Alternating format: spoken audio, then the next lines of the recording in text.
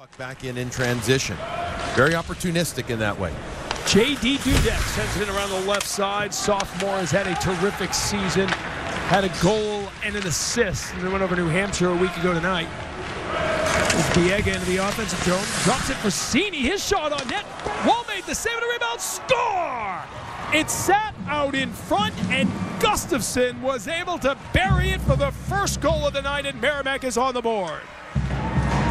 A lot of credit on this play has got to go to the defenseman Mark Biega as he brings the puck up the ice. He, he, he's not the biggest offensive producer, but he can carry the puck well. And here he's going to skate up, number four in blue. He's going to wait now for the D to back up. And look how he continues to push the defender more back.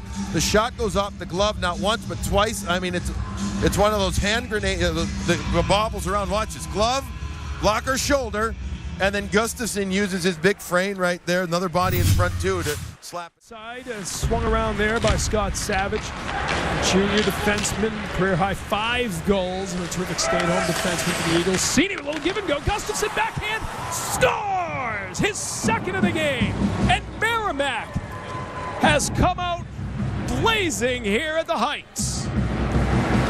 I mean, this is a gorgeous play from start to finish, and Hampus Gustafson is on fire. Look at the way middle drive. Cini goes through the legs. Gustafson sees the goaltender is down, committed wall. He can't extend the stick on a poke check. There's the finish. Let's go back to the start. Nice play along the wall to get the puck out. Uh, Tavernier gets it to the neutral zone. Gustafson is going to push back with his speed. Neither defender can hold on to him there. Savage gets beat. I beg your pardon. Luke McGinnis no longer playing, but 11 years at San Jose, three other teams. Of course, Alex Biega, one of three of Biega's brothers who played at Harvard, now playing for Vancouver. And here's another opportunity, but a big save and a rebound. Score! Tibbet on the follow makes it 3 nothing. A stunned crowd here at Chestnut Hill watching BC trail early. And keep an eye for a goaltender change, and we're going to have one right away. Freshman Ryan Edquist is going to come into the game after a less than stellar start for that youngster there in Joseph Woll. What a play, though, by Merrimack again and using speed. Hammers along the wall, neutral or uh, high offensive zone turnover, and off to the races they go. Two on one, backhand follow up there by Tibbet. I didn't say, I, I just I didn't find it. I couldn't find it. It bobbed it all over the place, and it ended up being a goal that shouldn't have happened that changed the tenor of this game, no doubt.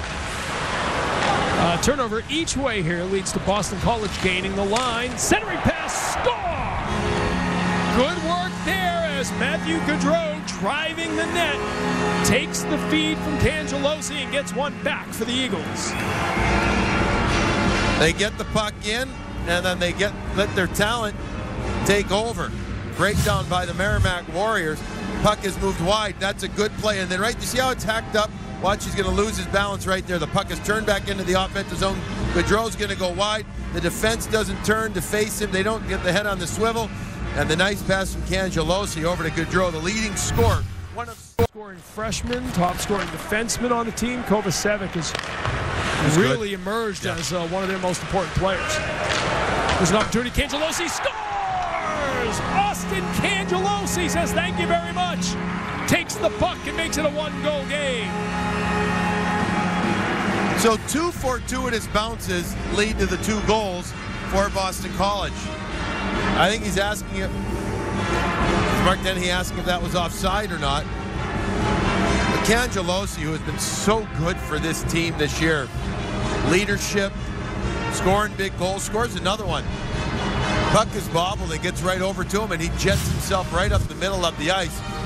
Here's the breakout. Now it's going to come through the neutral zone. Are they going to look at this one? Is this offside? They're saying Cangelosi may have been, and then Fitzgerald had to go off his uh, skate right over. Just again, uh, I mean. Irvine at position. He's able to get in there, so no icing. But now two Warriors caught up the ice as the Eagles try to bring it up. But the puck comes right back. Tavernier Gets it back. He scores! Broken play. He tried to get it to Gustafson, but it came back. And Tavernier, the freshman out of France, scores his fourth goal of the season.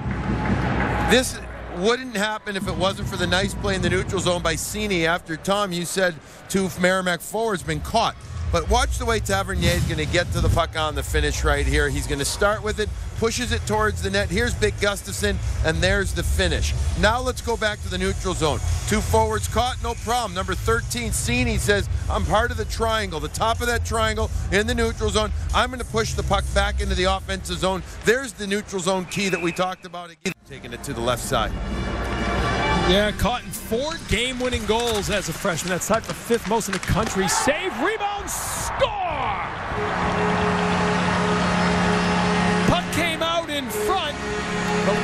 It was uh, Cangelosi who got his stick on it in that scrum. Ryan Fitzgerald there as well. Uh, but just the, the, initial save, in that case, the rebound right out in front of the net. And a lot of bodies there. Yeah, and Cangelosi, if that is his goal, which I think it is 50th goal of his career, off the faceoff, Cangelosi's telling where he wants guys to go. Look at the way that Colin White uses his legs, something that he has to continue to do more of to get to the puck behind the net. That sets up this opportunity for Fitzgerald to pop the puck. It pops right back to him, and there's just a little swat healed in by Cangelosi. That is an enormous power. Two on one developing. Cini going in with Tavernier. Cini slides across. Tavernier back to Cini, and he flipped it wide. Great passing, and now Cini gets it back, and he hits a post. Cini with two great A chances. Now Gustafson had it blocked.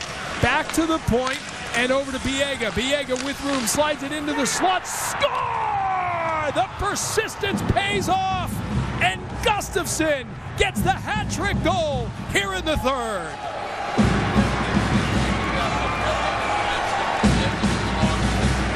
It's the first hat trick for a Merrimack player since 2011 and it gives them a two-goal lead once again. What a shift by this line, D-men included. Here Biega gets it. I love this.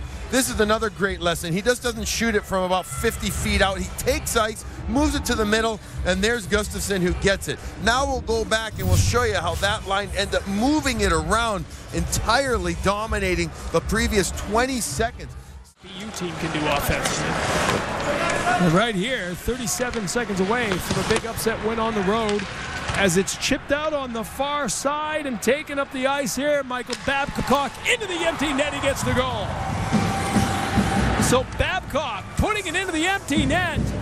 And Merrimack is about to end 20 years of frustration here at Conte Forum. That's got to feel good for that guy right there who played his college hockey.